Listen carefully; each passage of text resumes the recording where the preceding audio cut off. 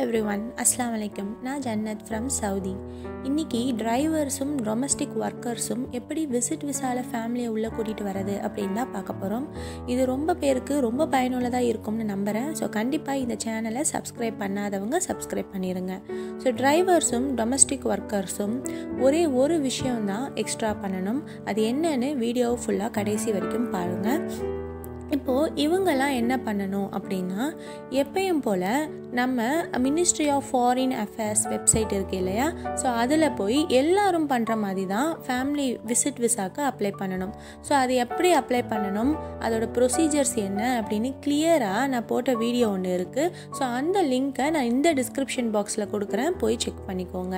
So எப்பயும் போல் apply பண்ணிவிட்டு apply பண்ணதுக்கப்புறம் அதை அப்படியே ஒரு பிரிண்ட் எடுத்துருங்க. ஸோ இப்போ பிரிண்ட் பண்ண காப்பியை கையில் வச்சுக்கோங்க. முப்பது ரியாலும் எடுத்துக்கோங்க. நேராக நீங்கள் குறிப்பிட்ட அந்த நபரே மினிஸ்ட்ரி ஆஃப் ஃபாரின் அஃபேர்ஸ் ஆஃபீஸ்க்குள்ளே போகணும்.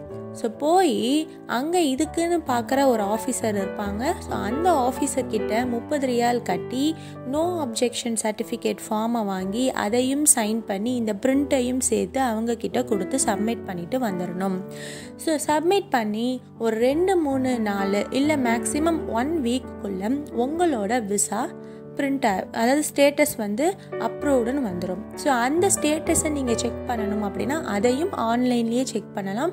அதோட லிங்க்கும் அந்த முன்னாடி சொன்னல ஒரு வீடியோ ஸோ அதுலேயே எல்லாமே இருக்குது ஸோ அந்த வீடியோ பார்த்தீங்கன்னா உங்களுக்கு கிளியராக புரிஞ்சிடும் ஸோ நீங்கள் பண்ண வேண்டியது ஒரே ஒரு விஷயந்தான் முப்பது ரியாலை கட்டி அந்த நோ அப்ஜெக்ஷன் ஃபார்ம் சர்டிஃபிகேட்டை டேரெக்டாக ஆஃபீஸ்லேயே போய் பண்ணணும்.